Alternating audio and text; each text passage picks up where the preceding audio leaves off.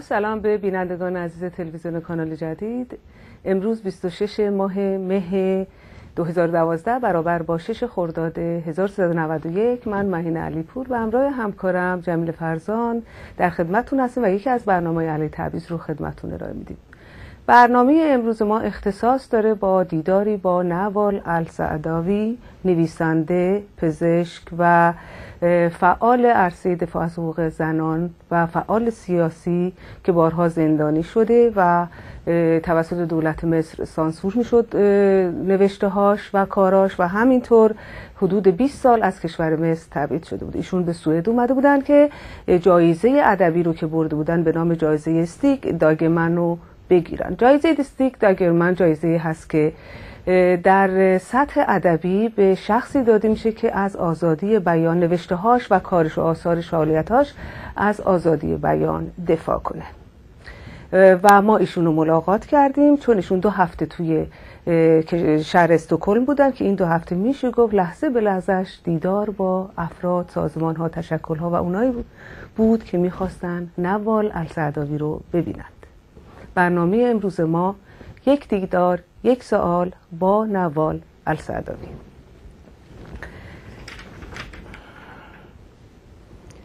موهایش نقره رنگ بلند بود. به پشت سر آنها را با روبانی جمع کرده بود. چشمانش کنجکاو شاد و پر از نشاد بود.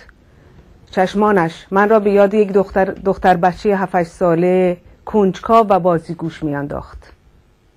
شال آبی قشنگی روی دوشش انداخته بود به قول خود او این شال را خیلی دوست داشت چون یک هدیه خاص بود رنگش مورد دلخواه نوال بود نوال هشتاد دو سال دارد دامن تقریبا بلندی به تن دارد که به یک جفت کفش سفید رنگ ورزشی ختم می شد.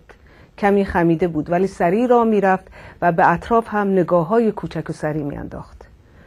روی میز می نشیند. دخترش مونا در کنارش است. مونا شاعر است ولی ساکت در کنار مادر نشسته است. به او می‌گویم می‌خواهم باهات مصاحبه کنم. پاسخ مثبت می‌دهد و می‌گوید فقط یک سال. مصاحبه با یک سال.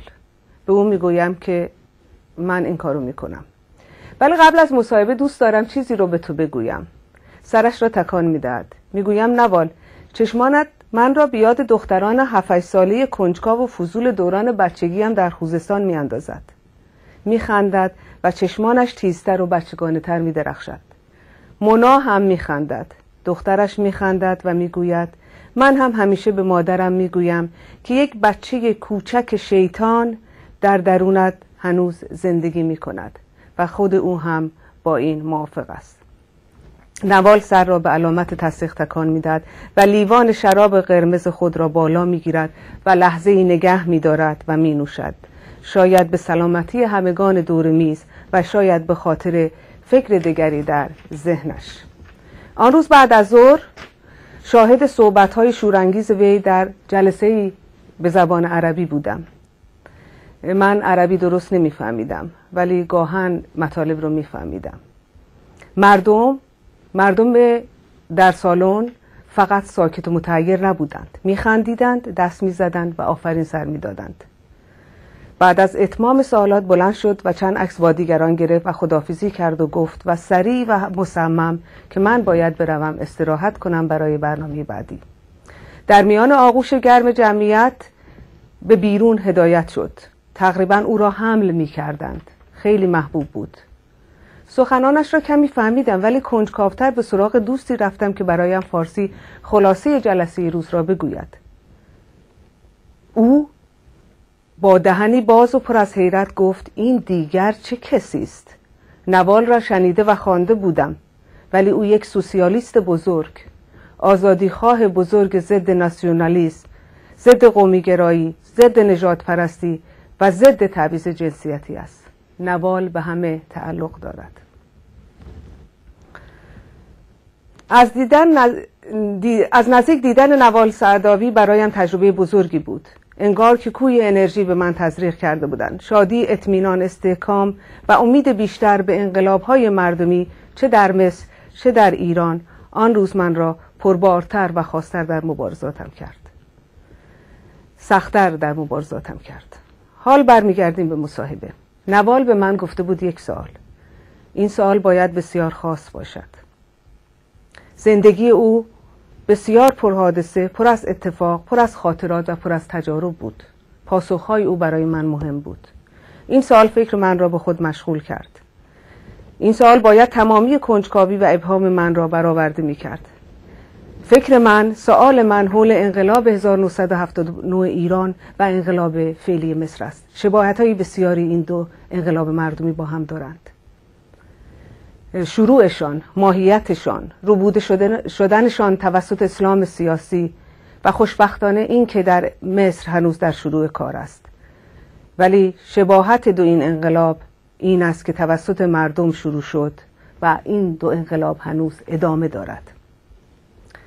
سوال باید مالامال از احساس نگرانی میلیون ها آزادی خواه از تکرار وقایع تاریخ و شاهد بودن یک ایران دیگر در مصر بود یا در هر جای دیگر.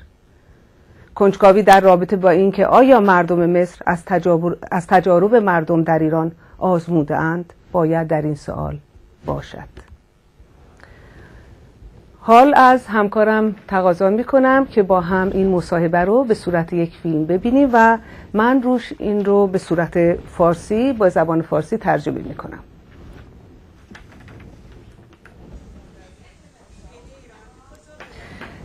نوال سعداوی. در ایران به خاطر کمبود و نبود یک حزب و یا چند حزب حزب و سازمان سکولار مترقی در سال 1979 اسلام سیاسی توانست انقلاب مردم را بدزدد و در زمانی که هجاب را اجباری کرد انقلاب را به طور کامل رو بود. به عنوان یک ایرانی آزادیخواه و مثل بسیاری از آزادیخواهان دیگر این حراس را داریم که این اتفاق باری دیگر در مصر اتفاق بیفتد. آیا شما به این باور دارید که این می‌تواند در مصر اتفاق بیفتد؟ آیا به این باور دارید که در مصر هم کمبود و نبود یک و یا چند حزب و سازمان سکولار و مترقی وجود دارد این خطر در اوضاع سیاسی مصر اکنون وجود دارد و همینطور اگر شما به این کمبود معتقد هستید شما برای آن چه کار می کنید؟ زیرا شما آدم مهمی در مصر هستید و نه تنها در مصر در تمام دنیا شما رو می‌شناسند به خاطر استقامتتان و مبارزاتتان و عقایدتان. چطور مردم خود را رهبری و تشویق می‌کنید؟ و سعی می‌کنید مردم خود را متشکل کنند. قسمت انتهایی این است که آیا شما فکر می‌کنید که غرب و یا آمریکا که از خمینی حمایت کردند این حمایت را هم از مسلمانان سیاسی در مصر بکنند با توجه به اختلافاتی که الان این کشورها با ایران دارند آیا این کار رو می کنند؟ آیا این در مصر اتفاق خواهد افتاد؟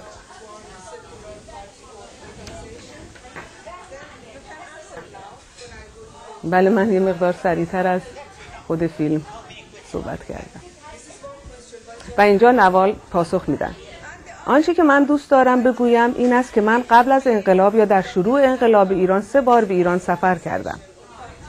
انقلاب را دیدم. انقلاب بسیار مدرن سکولار سوسیالیستی و برای استقلال اقتصادی بود. برای این بود که مردم می‌خواستند صاحب نفت خود باشند و کشورشان مستقل و روی پای خود بایستد.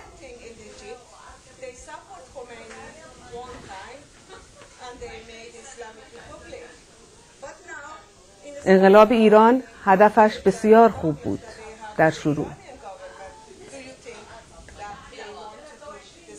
چه کسی از این انقلاب ترس داشت؟ کشورهای استعمارگر انگلیس، فرانسه و آمریکا. آنها خمینی را در هواپیما گذاشته و به ایران فرستادند. تا انقلاب را ساقط کنند.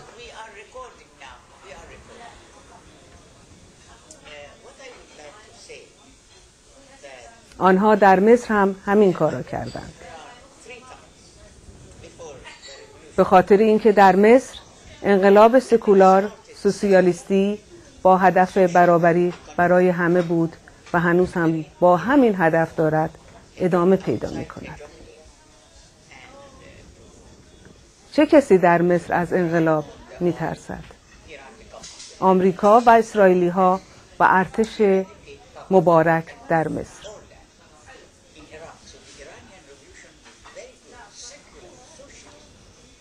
مبارک رفت ولی مردانش ماندند مخالفین انقلاب که آمریکا و مسلمانان سیاسی و ارتشیون باشند بسیار ترسیدند در برابر انقلاب صف کشیدند. آنها سلافیستا و کاردوای کارادوای را از کشورهای عربی قطر، دوهه و عربستان سعودی به مصر فرستادند تا انقلاب مردم را بربایند. در برابر انقلاب مردم صف محکمی با همدیگر تشکیل دادند. اتحاد بین سلافیست ها برادران اسلامی مردان ارتشی مبارک و آمریکایی ها در مصر همکنون اتحادی است که در صف در مقابل انقلاب مردم وجود دارد. تقریبا میشه گفت و شاید کاملا میشه گفت چیزی شبیه آنچه در ایران اتفاق افتاد. شاید هم بدتر از ایران. الان مردم مصر در حال جنگ با آنها هستند و مجبور هستیم ما که مبارزه کنیم. چاره دیگر نداریم. ما مجبور به این مبارزه هستیم تا حقوق خود را پس بگیریم. آنها از اسلام به مسابه یک اسلحه سیاسی بر علیه مردم بومی و مصری استفاده می کنند آنها از اسلام به مسابه یک اسلحه استعمارگر علیه انقلاب و مردم در مصر استفاده می کنند